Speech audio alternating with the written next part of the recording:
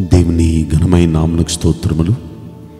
ఈ వాగ్దానం వింటున్న మీకందరికీ మన ప్రభువును ప్రియరక్షకుడైన యేసుక్రీస్తు నామములో శుభములు మా హృదయపూర్వకమైన వందనములు తెలియచేస్తున్నాం. ఈరోజు దేవుని వాగ్దానం రెండవ కొరిందీలకు రాసిన పత్రిక పదమూడవ అధ్యాయము పదకొండవ వచనం. సమాధానముగా ఉండుడి. ప్రేమ సమాధానములకు కర్తయగు దేవుడు మీకు తోడై ఉండును.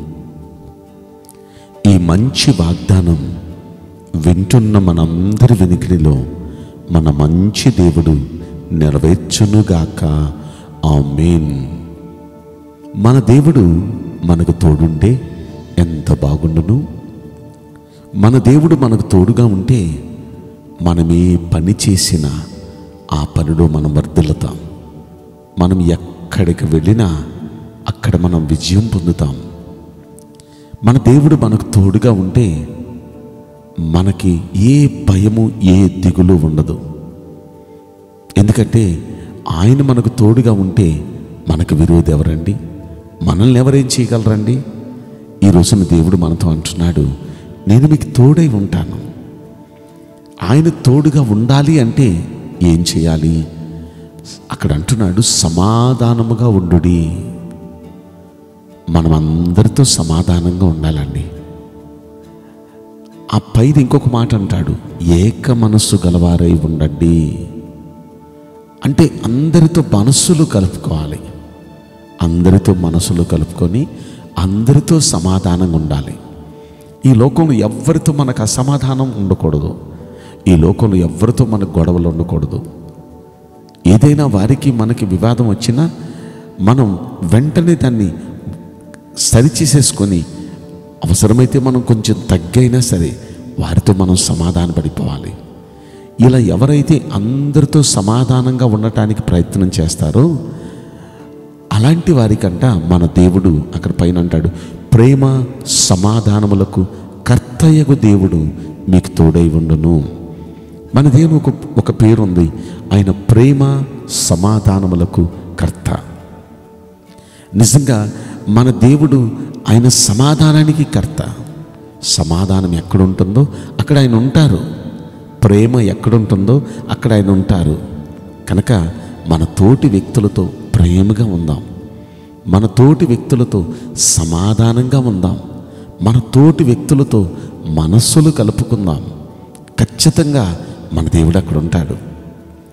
ప్రార్థన చేసేటప్పుడు కూడా ఆయన ఈ మాట చెప్పారు కదా అదేంటంటే ఇద్దరు ముగ్గురు ఎక్కడ నా నామములో ఏకీభవించి ప్రార్థిస్తారో నేను అక్కడ ఉన్నాను అన్నారు అక్కడ ఉంటాను అన్నారు.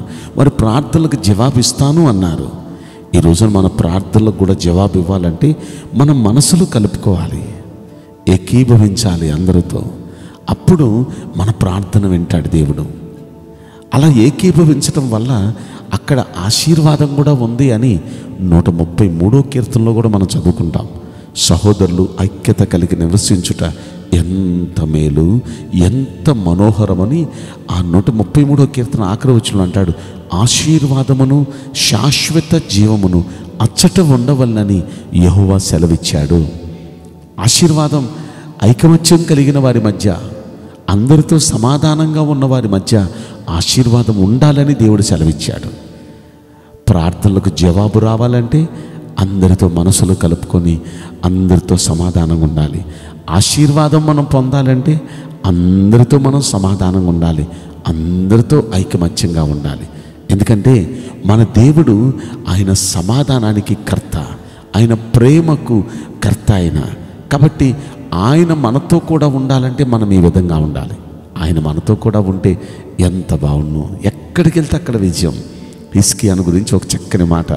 తాను వెళ్ళిన చోటెల్లా యహోవా అతనికి విజయం అనుగ్రహించాడు అని మనం చదువుకుంటాం. రెండవ రాజుల గ్రంథం పద్దెనిమిదవ అధ్యాయంలో ఏడవ వచనంలో ఎందుకు అతను పొం విజయం పొందాడు వెళ్ళిన చోట అంటే అక్కడ యహోవా అతనికి తోడై ఉండేను అనే మాట మనం చదువుకుంటాం. అంటే దేవుడు అతనికి తోడుగా వెళ్ళటం వల్ల వెళ్ళిన చోటెల్లా విజయం పొందుతున్నాడు. మనం ఆదికాండం ముప్పై తొమ్మిదవ అధ్యాయంలో మూడో వచనంలో యోసేపుని గురించి మనం వింటాం. యోసేపు అతడు చేతితో చేసిన పని యావత్తు సఫలమైపోయిందంట. ఏ పని పట్టుకున్న పని సఫలమైపోతుంది. ఎందుకంటే అక్కడ రాయబడి ఉంది యహోవా అతనికి తోడై ఉన్నాడు. నిజంగా దేవుడు తోడుంటే ఇలా ఉంటుందండి?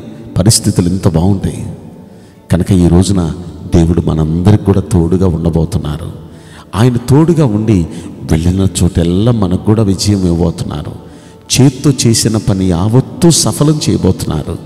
అలా సఫలం అవ్వాలంటే అలా విజయం పొందాలంటే ఆయన మనకు తోడుండాలిగా? ఆయన ఎవరికి తోడుంటాడు? అందరితో సమాధానంగా ఉండాలి. కాబట్టి ఈ లోకంలో ఎవరితో మనకి ఏ సమస్య వద్దండి? ఈ లోకంలో ఎవరితో ఏ గొడవ వద్దండి? ఎందుకంటే అసమాధానం ఎక్కడుందో అక్కడ అపవాది ఉంటాడు. అపవాది ఎక్కడుంటాడు? అక్కడ అన్ని చీకటి పనులే. అక్కడ అన్ని నష్టాలే అక్కడ అన్ని కష్టాలే అక్కడ అన్ని రోగాలే అక్కడ అన్ని సమస్యలే చీకటి పరిపాలన చేస్తుంది. కనుక అసమాధానం ఉన్న చోట అపవాది ఉంటాడు అక్కడ చీకటి పరిపాలన చేస్తుంది. సమాధానం ఉన్న చోట దేవుడు ఉంటాడు అక్కడ వెలుగు పరిపాలన చేస్తుంది. అక్కడ దేవుని వెలుగు దేవుని ఆశీర్వాదం దేవుడి దీవెన ఇవన్నీ మనం చూస్తాం.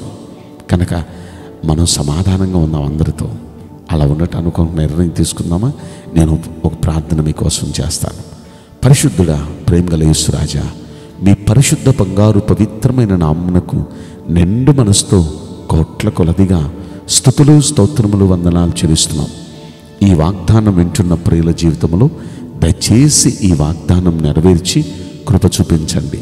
అయ్యా మేమందరితో సమాధానంగా ఉంటే అందరితో మనసులు కలుపుకుంటే మాకు మీరు తోడుగా ఉంటారు అని ఈరోజు వాగ్దానం చేశారు.